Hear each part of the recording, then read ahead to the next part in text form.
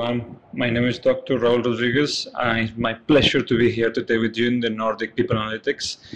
My topic today is going to be pretty interesting, futuristic as well as innovative, which is the future of human resources from 2020. Basically, focus upon machine learning, what you know as AI, but we're going to focus on a more technical aspect and a more dynamic way of approaching the field. Now, how does what you know as AI, artificial intelligence, impact the human resources side as a, very important and critical field in any company? First of all, it helps solving business challenges, which all corporates suffer. This is, of course, based on uh, predictive tools. On the other hand, it also helps with candidates as well as existing employees, attracting new talent and developing the talent in-house. We'll get to see how this works later. Then it also helps improving employee experiences. Now this depends upon the tool that you may use. If you use tools that are focused upon employee attrition or focus upon uh, candidate or employee development in terms of courses and so on, then of course the experience also increases. But the main key area here is to develop employee engagement and that happens mainly to, through chatbots and other uh, parameters such as benefits and compensation, which AI will monitor. Then lastly, the last part of it will be to provide analytical support. As you know, analytics is based, is based on data visualization. So again, analytical support plays a very key role here. And lastly will be, of course, to make an efficient use of the budgets. So budgeting, as every company depends on it, is something very critical here. Now let's go one by one. If we talk about talent acquisition, which is a very trending term in the HR atmosphere, you have the role suggestion for AI as well as talent acquisition, AI-induced talent acquisition. So here we will focus upon the first aspect is the AI-driven assessments. So here we go with videos. Now these videos uh, tend to pop questions along the way. So if there are companies like HireVue, for example, who, who already have this, uh, this, this software ready-made to, to utilize it by companies, so basically the software will pop questions which you have to answer, they will get recorded, and then somebody else will watch it. Now, the approach with AI will be a bit more complex. Basically, it will pop questions according to your answers. So it will be called reinforcement learning. So the system will learn upon your answers. When you answer certain, certain, um, certain questions on certain parameters, the next question will be related to your answer and not, and not directly related to what the programmer actually programmed in first place. So it's a very important aspect. Then if you look at social candidate discovery, what this is, what this is exactly, here we are going to rediscover, as well as discover for the first time, candidates who are valuable to the company or who might be of, of some use and you have and they have certain talents and abilities that we really can make use of in the long term in simple terms, we are going to basically hire people who are adequate for a job post, as well as uh, making sure that those particular skills they have are fitting to the core that uh, job description or the job need for the company. So here we can do it through various ways. First of all, we can use social media. We can track down uh, various social media profiles, be it on LinkedIn, be it on Facebook, be it on Twitter, or any social media platform. Track down keywords, uh, likes, the shares, the kind of profiles they have, as well as other parameters. This can also be used on candidate rediscovery. So candidates who have applied earlier to the company and their CVs or resumes are stored in our database, we can again launch search and look for parameters which might be uh, required for the company at this point in time. So this is a very important factor because social media is a very critical area of, of, any uh, interaction both for corporates as well as on a personal level so if you utilize these platforms in a way to recruit the ideal candidates, other than LinkedIn I'm talking about, then it can be a very critical factor to recruit the most accurate people and the ones who we actually will be fitting the role better. Now, we have facial recognition and voice analysis, a very critical area to human resources, which is still yet to be fully implemented in its, in its uh, huge spectrum that it has. Now, when it comes to facial recognition, here we're going to do a combination, facial recognition with voice analysis. And we are going to combine it along the way with sentiment analysis. So we are going to combine the facial aspects, the voice modulation aspects, as well as the uh, writing or text analysis aspects, which is sentiment analysis. Now, what do we do here? With facial recognition, we're going to aim during interviews as well as uh, when, the when the employee is already in the company to track down the facial expressions, the emotions, technically we are going to go and target the seven universal emotions, such as happiness, sadness, fear, and so on. So we are going to target those emotions. We are going to find parameters, um, key spots in the face, which will tell us what emotions or what or sentiments they might be feeling at a particular point in time. And once we have that, along the way, we're going to merge it with the voice recognition. Now, voice recognition will work the same way. We are going to analyze the voice, see what kind of emotions are being present, and then we're going to correlate with the face. This will help us, of course, seeing whether the emotions are accurate or not, or whether the person is lying or not, because we have two parameters to compare. One is the face, and the other is the voice. Lastly, we will also be looking at other aspects, but if you look at the screen right now here, you can see the face. There are various emotions, and you can see the percentages on, on the left side. Now, these percentages are showcasing what emotions this particular individual is facing. This can be during an interview, it can be during the, the time the, the employee is working in the company. And we use this to understand what are they feeling and how are they feeling about certain, certain things, certain actions, certain parameters. Now, this is very critical and very important to use when we are talking about, for example, interviews. Because in interviews, as you know, uh, many candidates tend to lie or to um, misguide the recruiter in various ways, not just with job profile, but other things. So utilizing these aspects of facial recognition as well and voice recognition can be very critical to the recruitment process as well as uh, highlighting and selecting the right candidate. So this can also be used for tracking the particular employee when they are already working in the company about what they are doing in the company, uh, whether they are at the desk or they are in another location where they should not be at a particular point in time, this is, of course, especially useful for companies like BPOs or basically call centers who are, get, are paying employees for basically picking calls, answering emails, or answering chats, and they need to be in the desk. So this is especially useful for this particular segment of companies, but it can be used in any other companies also. The, the aim is not to track employees on where they are at every point in time, but to track whether they are performing according to uh, their KPIs or the job description. So this is a very uh, critical factor, which of course will deal with various areas like ethics, privacy, and control, which we will discuss later. There are many discrepancies and many limitations to this application, but uh, that will be resolved in due time with research, but at the moment we'll discuss it towards the end of today's presentation. Now, another aspect which I was mentioning earlier is sentiment analysis. What do we do with sentiment analysis? We analyze text. Now, to analyze text, we look at two parameters. One is polarity, and the other is subjectivity. Polarity will be basically the plus, minus, or neutral aspects of, of the text, basically whether it's positive or negative, whether it's a, a neutral statement.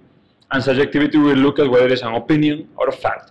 For example, uh, if we say this employee is not performing well, so it's going to be a very strong opinion from my end. But if I say this employee is a male employee, it's a fact, so it's not going to be an opinion-based statement, it's going to be a factual statement. So sentiment analysis is going to measure these parameters, and as you can see on the right side, this is some of the algorithms used. Not that you need to know the algorithms anyways, but it's just to give you a heads, a heads up that this is the kind of algorithms on, on Python that we will be using. And this is an example. As you can see on the sentences, we have, well, different statements. Uh, actually, the same statement, but as you can see, it's varying according to using exclamations, and using different punctuation lines. Uh, along the way, the positivity or negativity factor changes, as well as the overall compound or the neutrality of it. So the more you emphasize a sentence and the more you modify it, not necessarily with terms, but with exclamation or interrogation marks, your uh, overall uh, perception of the sentence by the algorithm will be, of course, varying along the way. So this is very critical, and as you can see, we'll take forward uh, voice, facial recognition, as well as sentiment analysis.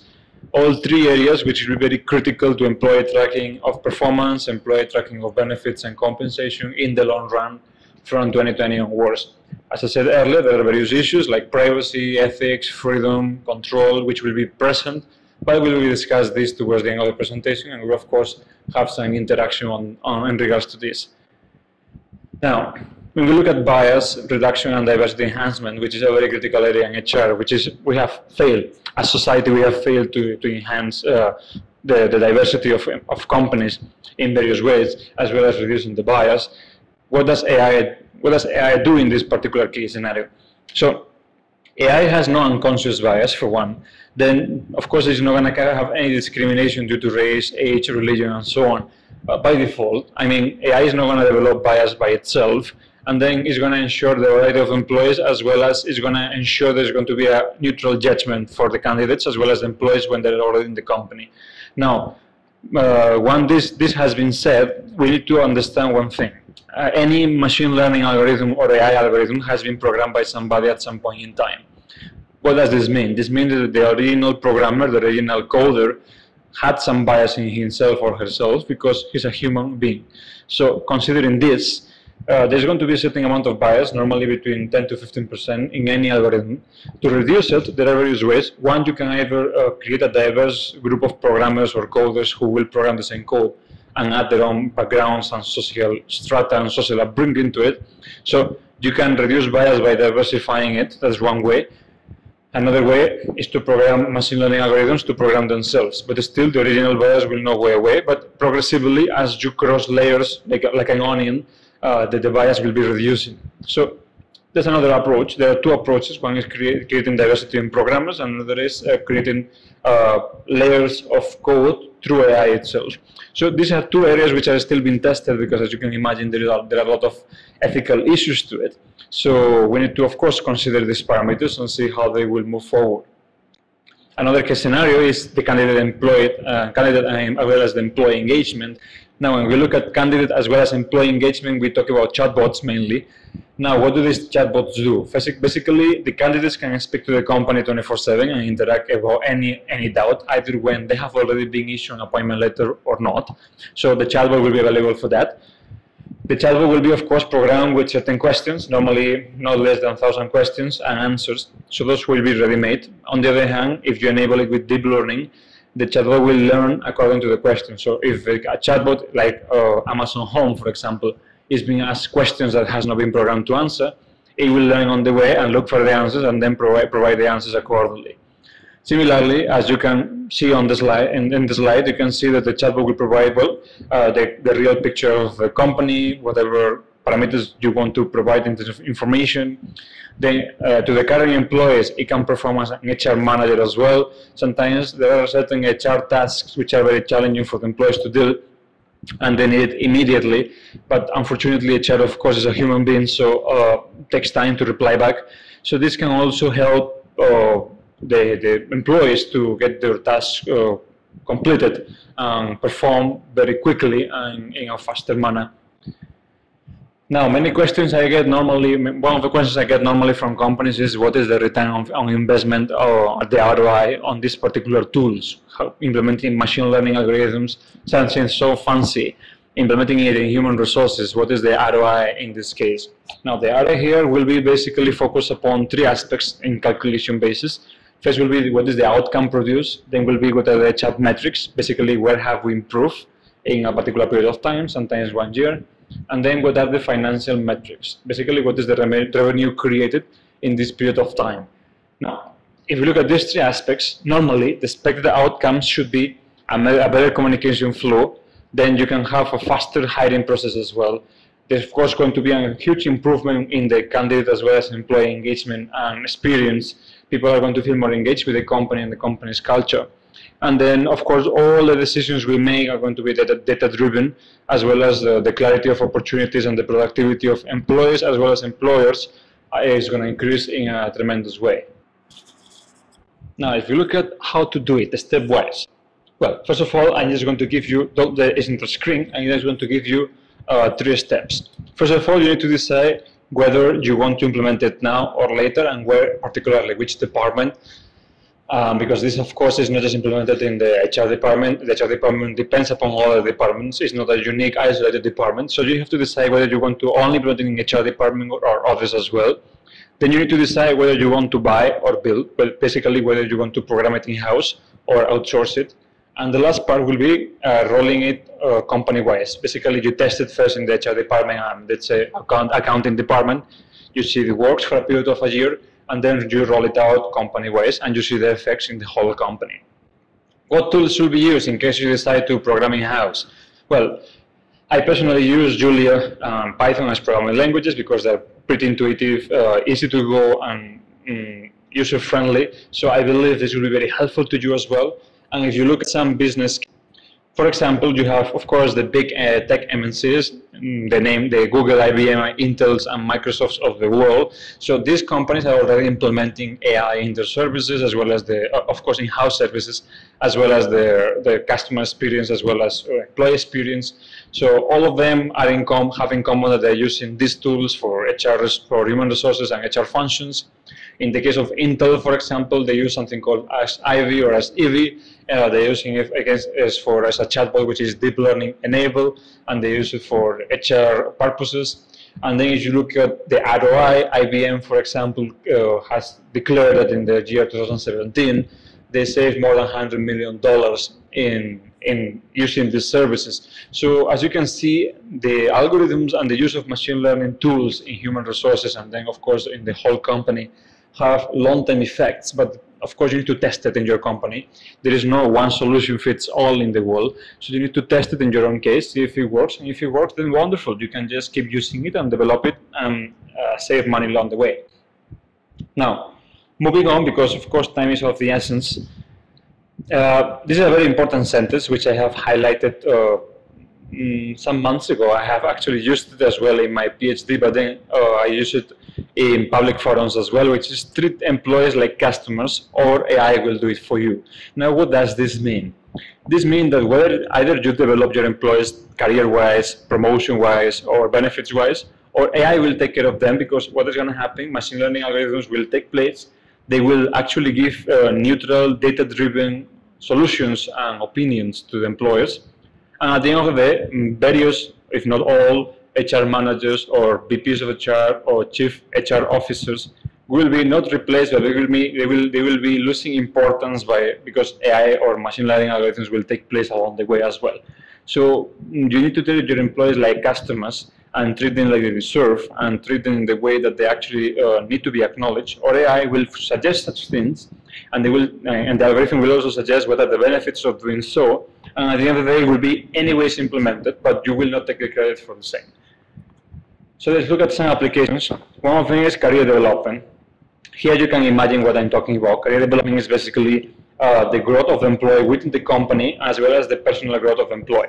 Here we have various scenarios. First of all, we take the performance of employee within the company and see uh, the terms of promotions, uh, not, not, not just number of years or experience or qualifications, but also the actual data-driven performance, and on the other hand, we look at the social media score. So here we also do a quick checkup on social media platforms and see how the employee is uh, representing the company outside. This, of course, might represent various issues in the European Union when it comes to the GDPR, for example, but other countries like India, Singapore, China, they can easily implement such tools and research upon them and see what is the effectiveness of it and whether it compromises on privacy or not. And then, of course, we have the uh, final outputs so colliding the data in terms of how the employee is performing in the company as well as what is the social media score, we can also see whether the estimations of job roles, the market needs, whether our employees fit those market needs or not, and what do we need to develop in them accordingly and to fit them in that particular way. And this helps, of course, academia as well to develop uh, market-oriented degrees too, which is very important. And similarly happens with the training and development. So as we spoke about career development and developing the skills of your, of your employees, we come across career uh, training and development, which is the personalized training.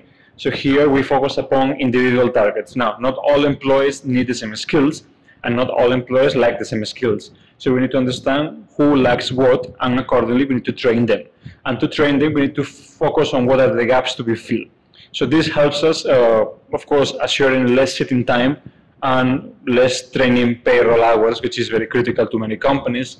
And the outcome will be that the, the learner, in this case the employee, will take control of the learnings and what is the course outcome and the course outcome as well as the course procedure. So they will decide what, what particular aspects they want to pursue in base of the machine learning recommendations as well as their personal needs. And then we'll also focus upon the development of employee in a larger way. The employee will feel eager to keep learning and to keep, uh, they, they, will, they will keep requesting to keep uh, upgrading themselves because these are gaps which the algorithm will identify through their CV, through their profile, through their performance in the company. And the employees will feel that this is actually uh, very useful to them and rewarding in the long run as well, personally and professionally. And then we have another aspect, uh, two, uh, two more aspects. One will be team formation. Here, uh, machine learning algorithms will take a very critical role in terms of recommending people within teams, forming teams um, with people who have similar skill sets, similar psychological profiles, similar psychometric test uh, results, and we'll look at that, at the performance and the behavior, and we'll put them together to see how the projects develop positively. I have tested this uh, through my research, and I can tell you that up to 87% of the cases where a machine learning algorithm recommends team formations, the outcome, the project delivery, and the quality of the project increases uh, through the recommendation of the algorithm. And then, of course, there's a win prediction model, which is how likely that team is to perform successfully in that task uh, in base of the current mm, members of the team. And then, as I mentioned, we have employee attrition. So after team formation, another very critical aspect of machine learning algorithms is employee attrition, and of course, all that comes along with it, which is appraisals, benefits, and compensation. Now, what elements are being tracked down when it comes to attrition? First of all, the satisfaction level, which is very critical. Then how many years they spend at the company, whether they have had any accidents, the salary they have, what department are they working for, are they fitting in the department or not, and then what are the career advancements that they have as well. So let me tell you before anything else, this particular aspect is a combination of psychology and programming. And we need to be very aware of this because AI or machine learning will be nothing today without psychology. Psychology, philosophy, sociology, and anthropology are the essence of artificial intelligence. And then comes uh, computer science along with mathematics and algebra. So looking at this particular aspect of psychology and programming, I'm not sure if you can clearly see this data set that you have. This is a sample data set.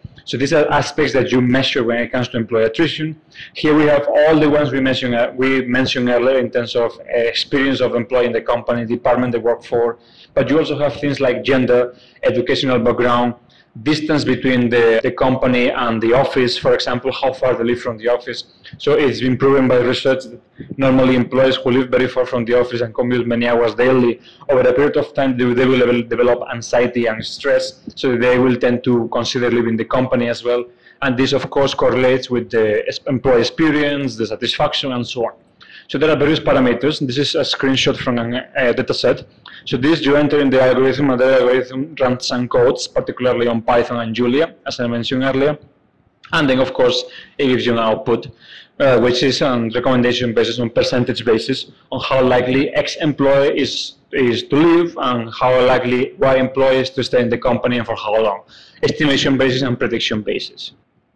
And lastly, we'll look at the Chinese Social Score system, which was my main area of research during my doctorate. And here we are going to start with the statement, will AI bid farewell to employees' privacy? Now, if you look at the Chinese Social Score system, for those who don't know, many consider it the game of life. Now, what is it about? Normally, scores are given between 300 to 1,000. So, set uh, 300 to 1,000 points. So, these scores are given to the citizens in base of their behavior, whether they are good citizens, according to, the, of course, the communist regime of China, or they are bad citizens. Now, what are good citizens? For example, donating money, engaging in charity work, uh, praising the government, helping the poor, cleaning the streets, not jumping traffic lights, and so on. And what are bad citizens? People who spit in the streets, they jump traffic lights, they do some sort of cheating in online games, and so on. There are various parameters. So what are the rewards? Rewards can be from fast-tracking promotions at work to getting priority in admissions in universities and schools for your children, as well as accessing bank loans and other credits, or even tax breaks and punishments, various others, not accessing jobs, not accessing supermarkets, not being able to travel, etc., etc. So there are various aspects to it, and various punishment and reward systems is a sort of reinforcement system they have. Now, this is already running uh, at a national level. In fact, well, it was running in various cities like Shanghai uh, and Beijing earlier, but in this year, 2020, they, they plan to expand it nationwide, but due to the COVID-19 pandemic, they, they halted it for some time. But as you can see in the graph, this system started as a uh, bank-related system for long and credit issuing, and then it jumped into a, a mm, social implementation of measuring citizens accordingly. So what I did, I took this system, I transferred it from a social implementation to a corporate implementation, implementing it into the human resources side, and seeing how it will work to track employees in this way. So now, what are we going to do with this system? Of course, we, we will relate whatever we have discussed till now, facial recognition, voice recognition, sentiment analysis, career developing, and so on.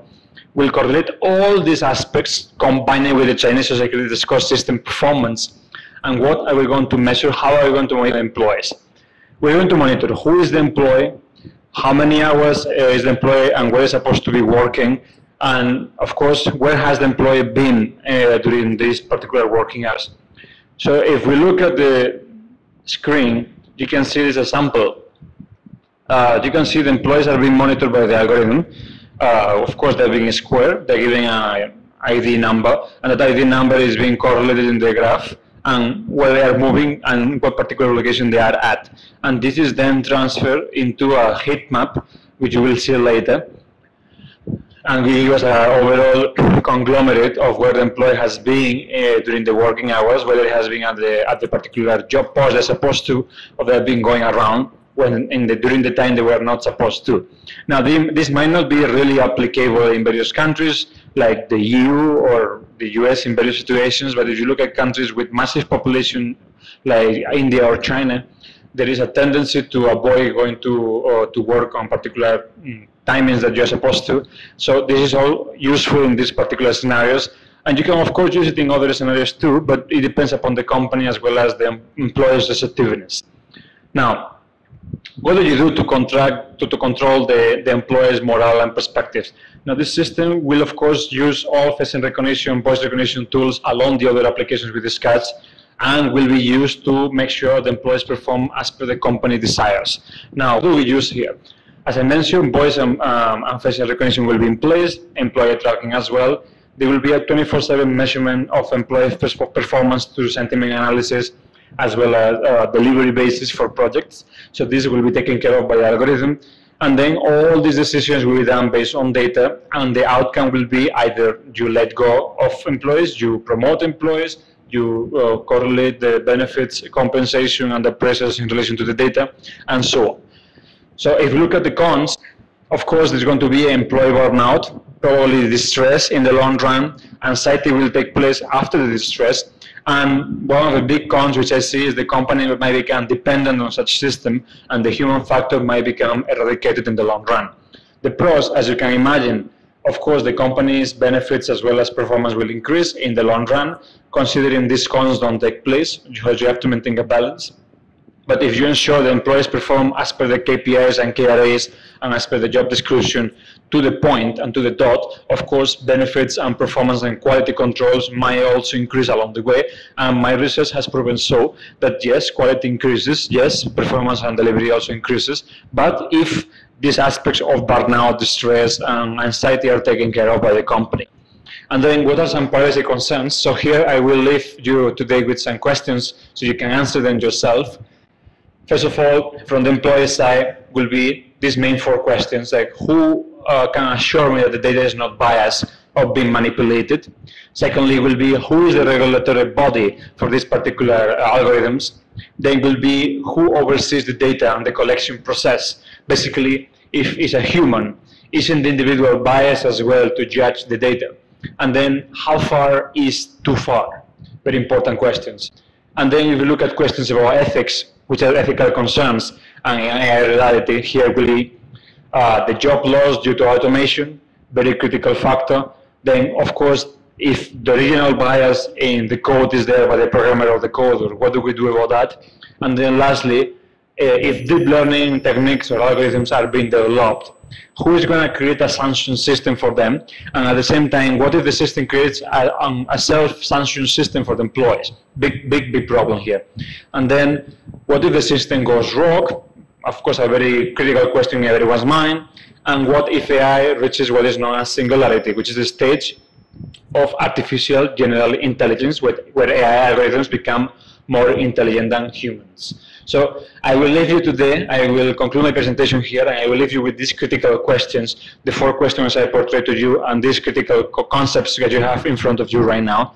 I hope you have enjoyed this presentation. Of course, I would have loved to have more time for uh, expanding upon the code. And of course, we can discuss way longer upon this topic, but due to time constraints, I have tried covering every critical point today for you.